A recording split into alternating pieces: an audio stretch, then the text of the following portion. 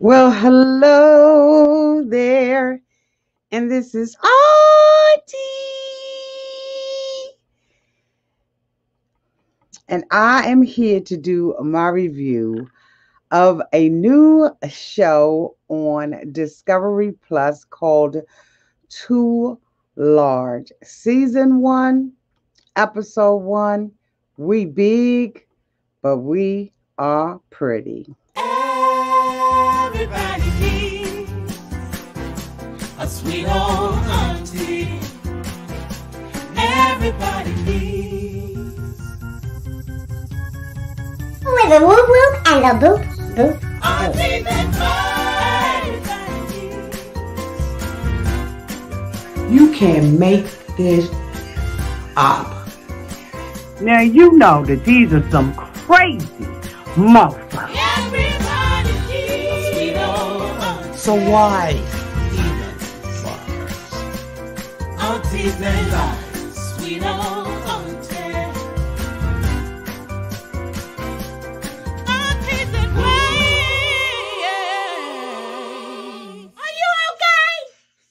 Are you okay?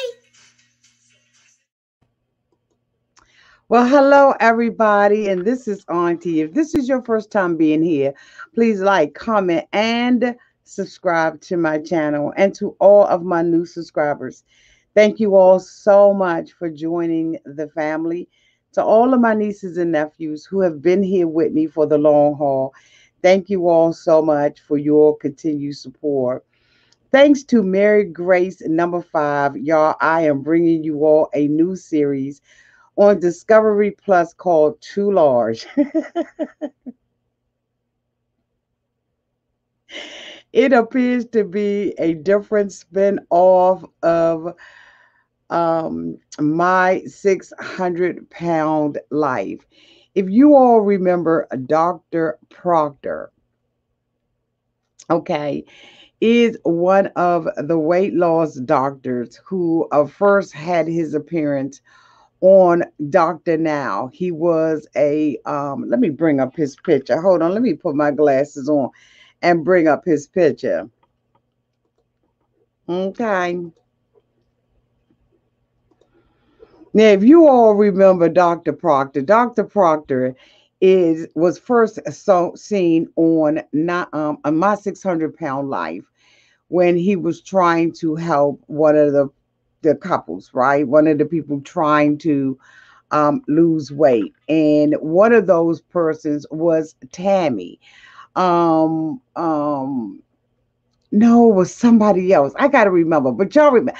Anyway, Dr. Proctor um, was attempting to help one of Dr. Now's patients who was unable to make it out to Dr. Now's. And so he sent her to Dr. Proctor's office, and she still was unable to get the weight off. As we all know, Dr. Proctor has also shown up, Dr. Charles Proctor has also shown up on um, my 1,000 pound sisters. Okay.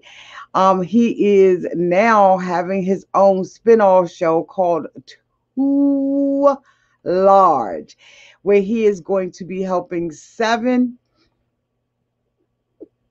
He's going to be helping seven um different people try to lose weight. So this is a new spin-off show on Discovery Plus. And don't forget that I purchased Discovery Plus so that you don't have to. Y'all, let me tell you, this show was funny. It was sad. It was all that, okay? Because these two friends are attempting to lose weight. Um, and you know, we're going to go ahead on and get into this story. So, of course, um, um, we have Megan and Vanessa. Um, Megan is the one in the gray shirt, and Vanessa is the one in the burgundy shirt. These are two friends who grew up together in um, middle school and elementary school together. Megan, um, um, we are first introduced to her because Megan starts off the show. She gets out of bed, y'all, and she is laying already on top of a whole bunch of pee pads. She gets out of out of the bed, and because she is so heavy, she has pee pads up underneath her feet because she said as soon as she gets out of the bed, she has to pee. And so, of course, she stands there in her pajamas and everything else and begins and proceeds to pee on the pee pads. She has an oxygen mask on her face. She is, you know, obese. Of course, you know, we know that this is just how it goes, right? And so it's just disgusting to see Megan um, get out of bed and just straight up pee. So, you know, she yells out to her husband. I didn't see her wash her cootie cat, dry her cootie cat. I didn't see her do anything at that point. And he comes into the room because she has an oxygen mask on and she has a 50 foot um um she has a 50 foot tube because she is on oxygen and so she gets stuck on it. She's calling her husband. He comes in, he gives her a kiss. He picks up the pee pad. He didn't take the pissy shorts off of her or the pissy drawers or whatever she had on.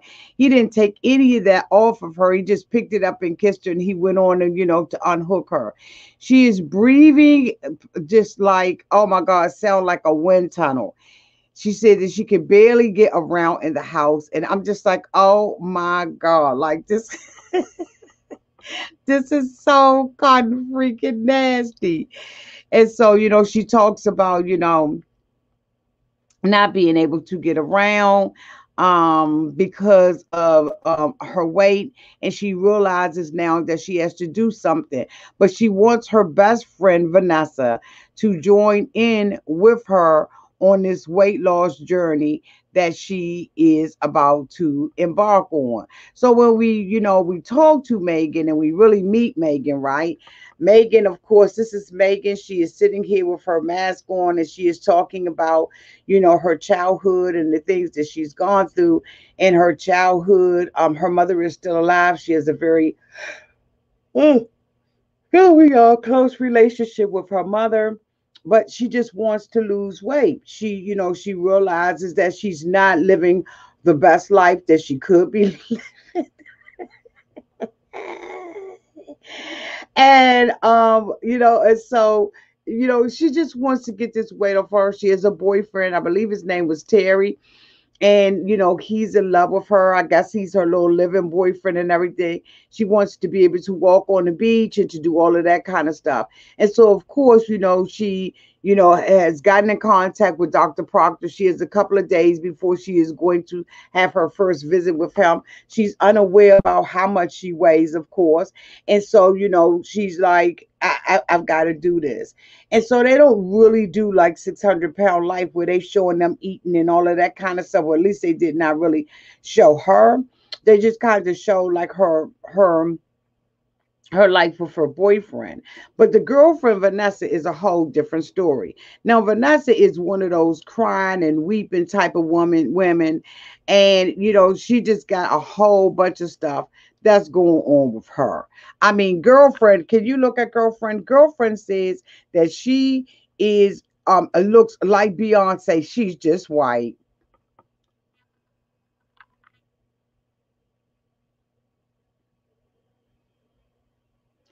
She said, I look like Beyonce, but I'm just white. girl, girl, stop that foolishness this woman don't look nothing like Beyonce. She talks about, you know, how um, you know, Megan was there for her when it was coming through middle school, that you know, the girls used to tease her and all of that kind of stuff. And how, you know, she, you know, Megan was like, you know, stepping up to the girls and all that kind of stuff on her behalf. And so, you know, she was just like, you know, this my ride or die chick and you know she's excited about Megan doing the weight loss surgery, but she's not excited about it herself. You know, she talks about you know living in the car with her mother and all that kind of stuff. She currently has some children, um, some sons who are oh my god, excuse me, y'all, who are large and in charge themselves. She is uh, basically in poverty and basically eating out of food sh- shelters or of food pantries. And so, you know, it, it- so Megan, you know, looks beyond all of that kind of stuff because this is her friend. And so she says that, you know, she wants to have lunch with her. So the two of them go out to lunch. Of course, Megan has to be pushed around by her husband. I mean, walked around by her husband because she can't go too many places and everything. But she tells her husband to bring this stool with him, her. Now, this stool goes with girlfriend everywhere, right? She takes this cotton freaking stool to and fro and everywhere she goes because they're going to go to a restaurant. So they go to the restaurant, you know, they made a reservation and everything. She said, Can I bring my stool in? I don't trust no other chairs to hold me up. So they was like, oh, okay. So, you know, she brings her stool in there. She sits there or flops down onto her stool and they're waiting for, you know, Vanessa to come in. And so Vanessa comes in and everything. And, you know, she hugs her and all of that kind of stuff. And, you know, they sit down and she starts telling her, you know, how happy she is and all this kind of stuff. And Megan said, I'm happy, but I'm not happy. I'm ready to lose weight and I want to change my life. And I want you to do the same thing with me, Vanessa. And Vanessa was like, Oh, hell no. I like food. You know, I ain't trying to um cotton freaking go on no uh, no bariatric diet. I'm, I'm bariatric surgery. I don't want to do any of that kind of stuff. Yeah, I want to live, but damn it, I want to live eating. And so, you know, Megan is like, you know, please, you know, we do everything together. Let's do this together. You know, knick knack, patty right, give it to on dog a bone. And so, you know, the two of them, you know, um, settle in this conversation where they start talking about their middle school and high school days and how they, you know, they're big, but they pretty and all this kind of stuff. They know how to drop it like it's hot. Somebody know how to hang off the bed and go hit on to get her man and all that kind of stuff. They're just having like regular old little girl talk, except for, you know, they're just really big. Now, neither one of them are, are aware, like I said, of how much they weigh. So Megan, you know, makes a decision that she's going to go and see Dr. Proctor and she stops by, you know, her um, um, um girlfriend's house and everything. And, you know, they have a little chit chat and all that kind of stuff. And she's telling her, you know, she's hoping that she's going to be okay. So her and her husband go to, you know, Dr. Proctor's office. And of course, they got to weigh in. Now, you know, on Dr. Now, we say back that thing up. But on this one, the way that they weigh, they got to pull up to the bumper, baby. Let's see how much you weigh. Ooh, pull up to the scale, baby. Let's see how much you weigh. Jiggy, jiggy, jiggy, jiggy, jiggy, jiggy, jiggy, jiggy. So she pulls up, Megan pulls up to the scale and everything. And when she gets on, on the scale, she's 498 pounds. Now, I'm going to tell you right now, Megan does not look like she is, you know, one of them little slim chicks, like, I mean, little tall chicks. She's like a, a, a really short chick. So I can imagine what her damn BMI is, right? And so she gets on and she's devastated. She can't believe that this is how much she weighs. She has a you know, Dr. Proctor comes in and tells her, you know, "You- look, you're gonna have to do this, you're gonna have to do that. So basically, you know, she says she has fibromyalgia, she's diabetic, she has high blood pressure, she has arthritis, rheumatoid, um, and, and all kinds of, of, of arthritis in her. So she knows that she's got to get, you know, get this weight off of her. And so he gives her a goal um, at 498 pounds of losing 20 pounds. She tells Dr. Proctor, you know what, Dr. Proctor, I'm gonna do better. I'm gonna lose more than what you what you think. And he said, Oh, she said, I'm gonna make you say, Go girl, you did that girl, whoop girl, you know, bam girl. And he was like, Okay, if you lose more than what you know, I I, I said, I asked you, I will say that. So she goes home and she starts cutting back on her food and everything. And in the meantime, and in between time, she's still having a conversation with Vanessa. So she's talking to, you know, Vanessa about her weight loss, and Vanessa is making every excuse in the world as to why she can't do this. Vanessa, again, you know, says that, you know, she's living in poverty. She has a U-Haul truck that I don't know whether she rents that bitch or whether or not she owns it, but she has a U-Haul truck and she rides around to all of the neighbors' houses picking up old beat up laundry um, um washing machines refrigerators so that she can take it to the junkyard the scrap metal yard and she can get money for it right and so she just rides around you know doing it that i don't know why this chick don't have no cotton freaking job. I don't know what any of that is about, but she rides around. Okay, let me bring her picture back up because I don't want y'all to attribute that to um let me just bring both of them up. So my my girl right here rides around to people's houses, like I said, picking up all kinds of scrap metal so she can take it to the dumpster. And you know, when she take it to the dumpster and everything, you know, they buy it off of her. And so, you know, she she, she and so, of course, Megan over here is telling her, you know, uh, you're making excuses for not wanting to get this weight off. I mean, this woman got so many cotton freaking excuses as to why she doesn't want to do this surgery. But basically, at the end of the day, she loves food. She said that her mother comforted her with food. When she fell down and cried, she gave her food. When she was happy, her mother gave her food. So just she just eat food just all the time. And this is something that's a comfort to her. And she has done the same thing with her sons because her sons are heavy and large and young. So she goes to the scrap yard and everything. She has a couple of uh, washing machines. They pull the stuff out, out of the truck. They give her $57 for the scrap metal that she has. And right before she leaves, she thinks, aha, I don't know how much I weigh. So she asks the young black guy, you know, can you, do y'all have a scale here? He said, yeah, we got a scale. She said, well, can I get up on the scale? I need to find out how much I weigh. So the dude was like, all right, I'm gonna have to go in here and turn the joint on for you, right? he said, I'm gonna have to turn the joint on for you. So I'm gonna see your weight. You gonna be all right with that? She was like, Yeah, I'm gonna be all right with that. So, you know, she walks up on the scale and everything. Her son gets out the van, he's looking. So she gets on the scale and she's walking. She was like, Dag, I don't know how much I weigh. So, you know, little youngin, he, you know, he in the booth, you know, do making it do what it do turning the scale on. So he comes out with a little scrap of paper and he was like, You want the truth? She's like, I like to weigh. He said, Do you want the truth or no? And so she was like, Yeah, I want the truth. So she was 440 pounds. Immediately she begins to cry because she did not know, you know, how much she weighed or anything like that, you know, and and that she's just shocked that she weighs that much because she said the last time that she had weighed herself, she was 327 pounds. Even with that, I would have been boohooing and crying, right? And so anyway, she she leaves and she's with her son. She gets in the U-Haul truck and they're driving away. And she said, you know, I really got to get this weight off of me and all of this. And and and, uh, and, and at the meantime, and in the between time, she was like, We got some money, boo. We're gonna go head on. Thank you so much for the super chat. And so she was like, you know, we're gonna go ahead on and get us something to eat. She pulls up at this cotton freaking place. It looked like one of them little trucks. I don't know what kind of restaurant it was.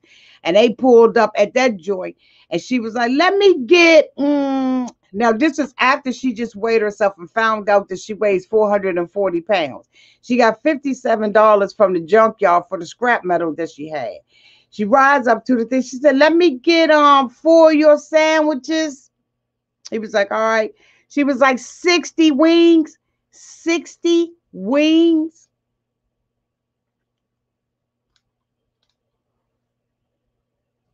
Sixty wings.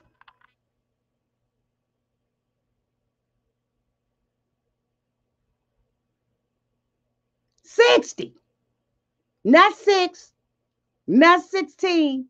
Sixty wings four, I think, order of French fries, macaroni cheese. She spent every dime of that $57 on food that she got from a scrap metal.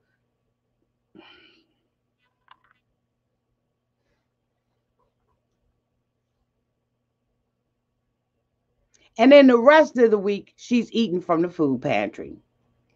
So Megan called her on the phone because she had been ducking her and everything. And Megan was like, you know, what's going on? I need to find out what's going on. And she was like, girl, I just, you know, I can't do this, whatever. You know, I'm happy for you. You know, you go ahead and do it with the whoop, whoop, whoop. So it's Megan's day of surgery. And Megan decides that she's going to stop by Vanessa's house and, you know, have a conversation with um, Vanessa. At this time, at this time it's the pandemic and so they you know have to sit outside with their mask and everything on and you know she begins to tell her that she's just not ready to do anything like this. And she's happy for Megan, but Megan stop pressing her out. Damn it, she's not going to do the program. And so, you know, Megan was like, all right, well, I'm going to go to surgery. And so, of course, you know, Vanessa was like, you know, maybe you might die on the table or whatever. And Megan was like, this is the risk that I'm going to have to take because either I'm going to die on the table or I'm going to die not being on the table, right? Because her weight was out of freaking control. And so she goes, you know, to surgery. And uh, I mean, she goes back to Dr. Um, I skipped. She goes back to Dr. Proctor's office and you know dr proctor asked her about it and she was like you know it's been challenging. I'm hoping that i've lost enough weight. So they was like all right then well let's go ahead on the way. You pull up to the scale baby. Let's see how much you weigh.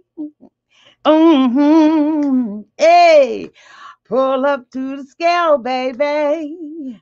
Let's see how much you weigh. Uh-huh so she gets on the scale and she is down to 448, I mean, 458 pounds. She's lost a total of 40 pounds.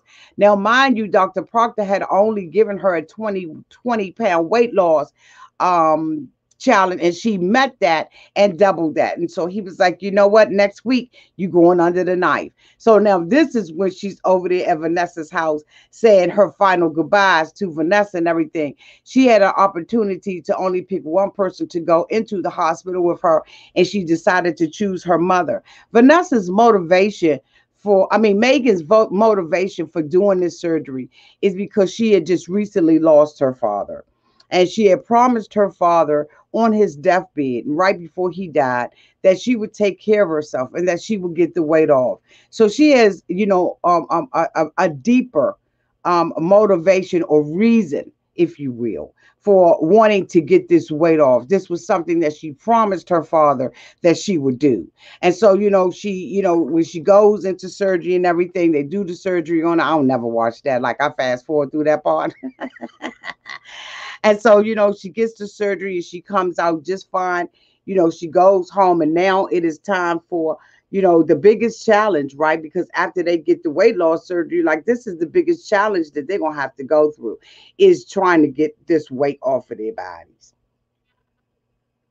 So anyway, she goes, you know, back home and everything and she starts to lose weight. She's still trying to encourage Vanessa by eating different foods and stuff like that. Vanessa indicated that when she goes to the food pantry, there'll be a whole lot of potato chips and stuff like that, you know, snacky, snacky type of food in there for her children, but nothing in there for her.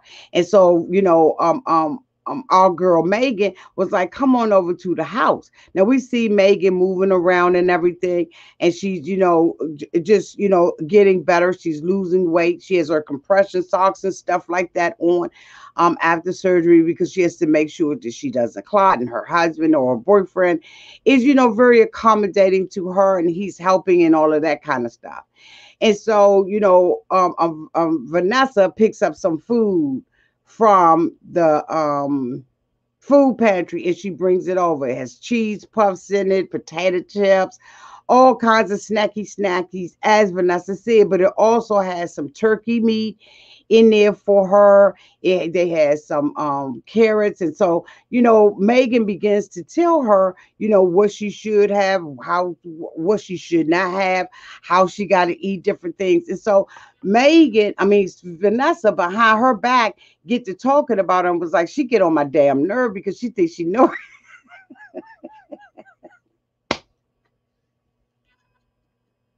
She said the bitch thinks she know everything.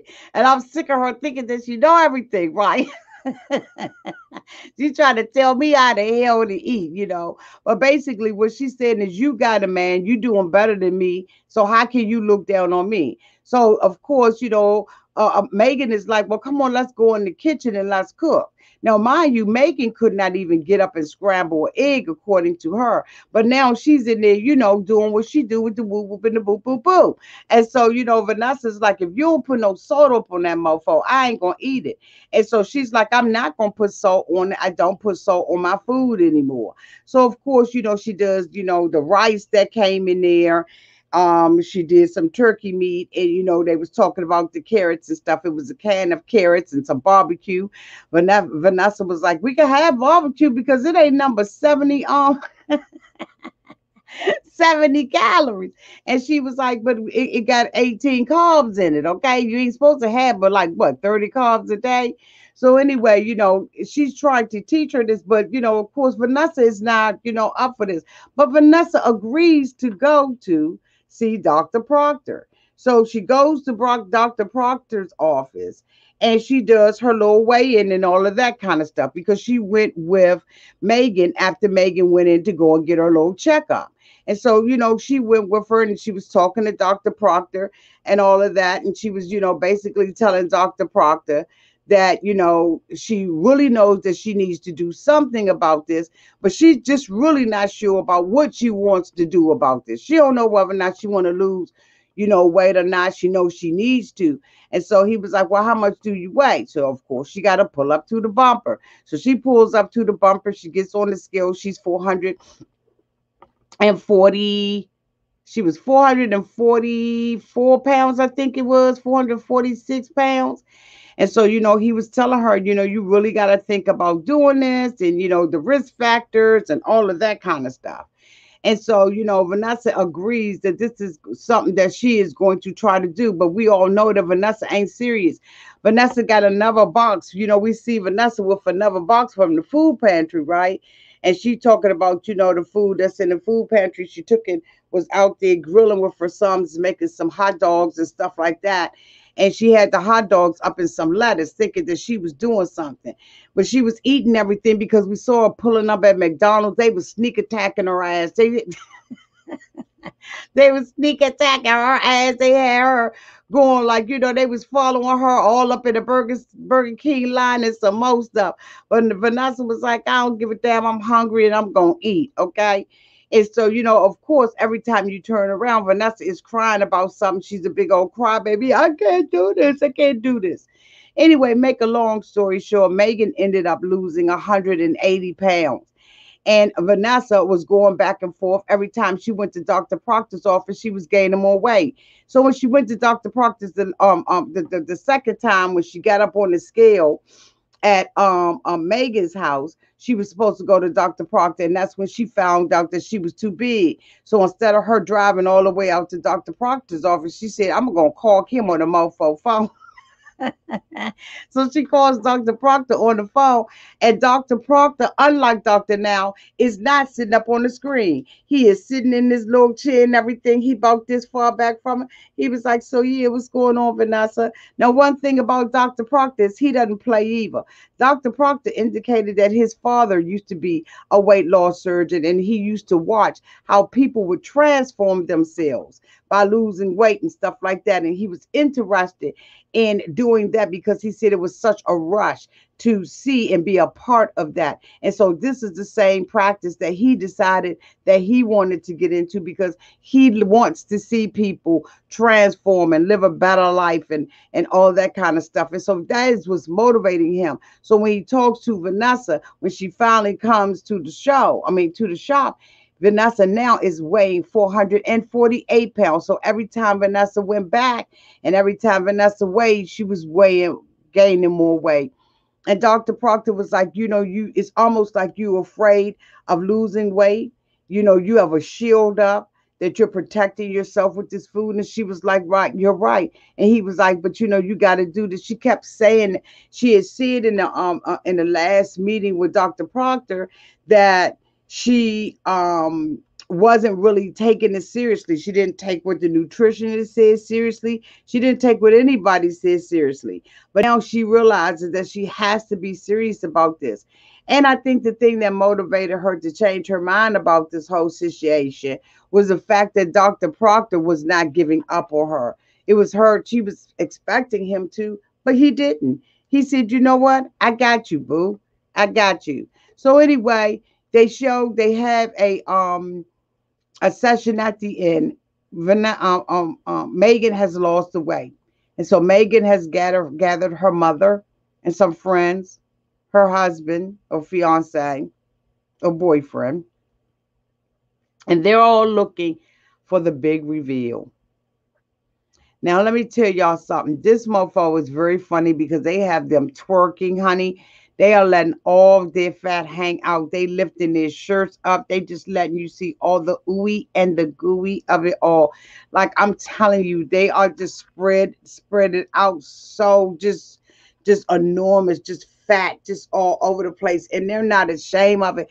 They say we big, but we are pretty, honey. We are pretty and we normal people girlfriend said that when Vanessa said when she gets out of the bed in the morning after she pee in her portable toilet that's sitting by her bed, this is what I don't understand. Who's dumping that? Who's dumping the pee that Vanessa pees into at the side of her bed? Vanessa's toilet, her portable toilet, okay, that got handles up on that mofo is so tall that she ain't even got to her knees ain't even bent on the toilet basically. She gets up in the morning. The other one okay megan was peeing on pee pads and this chick is peeing in a portable pot beside her bed. Then she gets on the bed raise backwards lift up her stomachs get her daggone talcum powder or whatever kind of powder baby powder puppy powder bitch uh, adult powder. She got powder and she's just taking the powder and just slamming the powder up underneath the bottom of her stomach. And she said that they need to create some diapers. She said that the producer asked them, do they wear diapers because they was talking about how much they pee on themselves. And they said that, and Megan said, we need to create some cloth diapers for people like us and they need to create some type of strip of cloth or paper or something that goes up under your big girl stomach and it keeps your skin from getting chafed down there.